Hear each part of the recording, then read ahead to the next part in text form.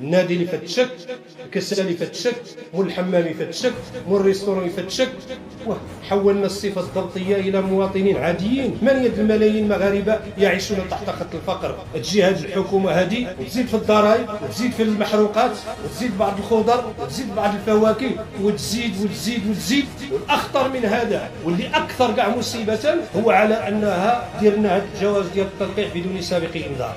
الحرص لا, لا يكون بذاك المثل اللي راه.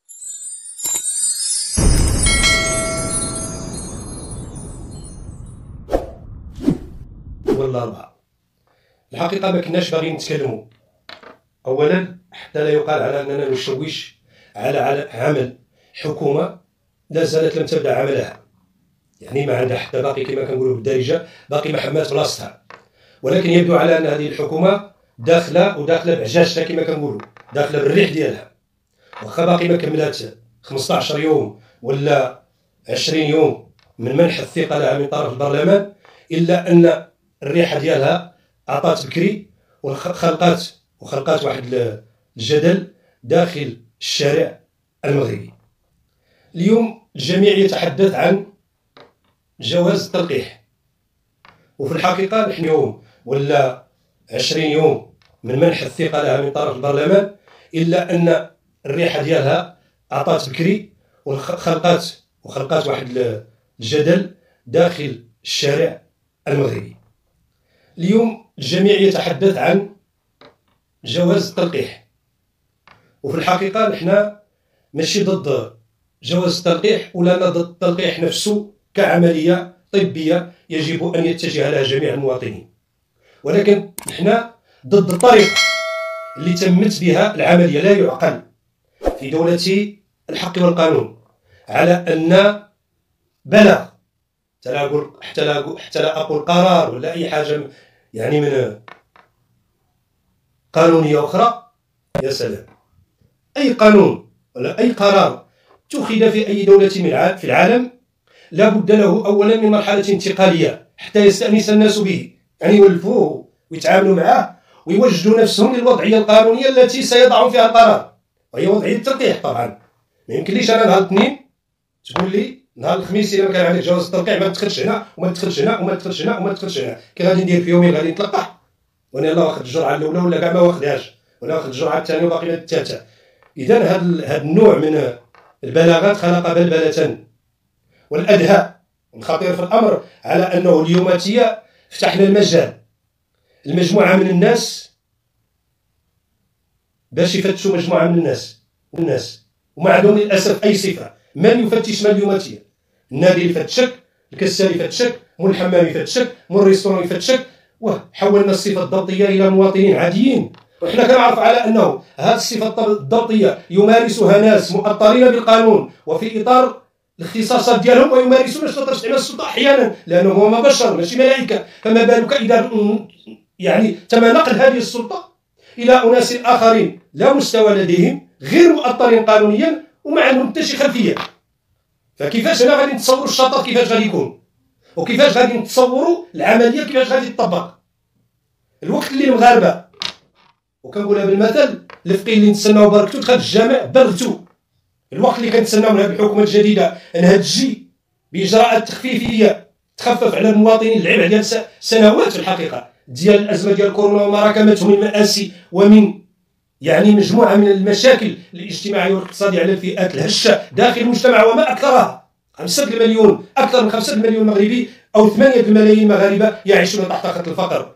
تجي هذه الحكومة هذه وتزيد في الضرائب وتزيد في المحروقات وتزيد بعض الخضر وتزيد بعض الفواكه وتزيد وتزيد وتزيد. والأخطر من هذا واللي أكثر كاع مصيبة هو على أنها دير لنا هذا الجواز ديال الترقيع بدون سابق إنذار. الله يجازيكم بخير رانا كنتكلموا وكنتكلموا بمنطق ومن باب المسؤوليه راه لا نشكك في النوايا ديال حتى شي حد لا ديال الحكومة ديالنا ولا حتى شي حد حنا نحرص على صحه المواطنين ولكن الحرص راه لا يكون بالقمع الحرص لا, لا يكون بذاك المثل اللي راه خاصنا نقطعوا معاه ديك الاوصاف النمطيه اللي خصنا نقطعوا معاها المغاربه كمونيين ما حكيتهم ما يجوش لا المغاربه ماشي كمونيين المغاربه ناس واعيين وناس كيفهموا ولكن تواصل معاهم اشرح لهم. قول لهم فين كاين هنا وكاين هنا. ها التلقيح.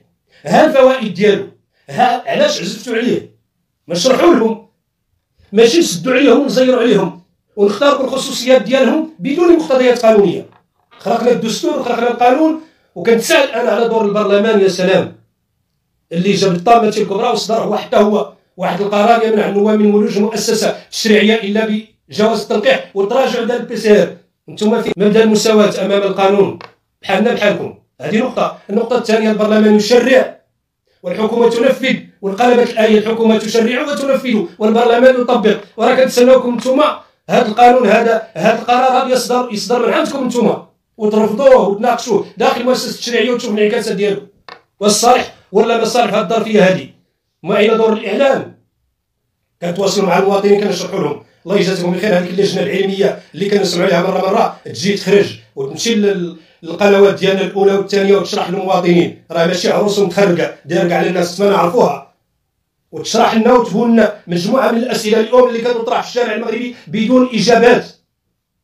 اللي داير جوج أنواع ديال التلقيح أسترازينيكا وأسترازينيكا والثالثة ديال فايزر أو دير أي تلقيح أخر. واش ما كاينش انعكاسات على مستوى الجانب الجانب الصحي ديال على المواطنين. شرحوا لنا قلنا ما كاينش خطورة. واخا تكون داير أسترازينيكا جوج مرات يمكن دير فايزر والعكس صحيح. ماشي نمشيو كنسمعونا من وسائل التواصل الاجتماعي أوديويات يخوفون الناس وكنسمعوا بزاف الحوايج اللي تثير الرهبة. بالنسبة لتلقيح التلاميذ تلقيح الأطفال أيضا خاص الوضوح فيه. اذا هذه أسئلة معلقة. الشارع المغربي ينتظر الصراحة ماشي ينتظر جواز التلقيح.